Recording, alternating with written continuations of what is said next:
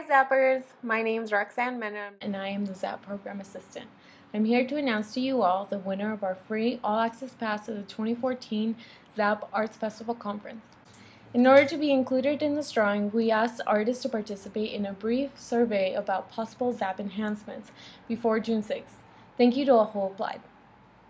And now, the winner of the random drawing for a free registration to the Arts Festival Conference on August 28th and 29th in Portland, Oregon is Cindy Devine.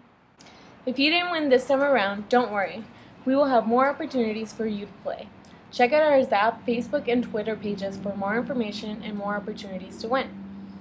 You can also register online directly at bit.ly zappcon14. Thank you and have a great day.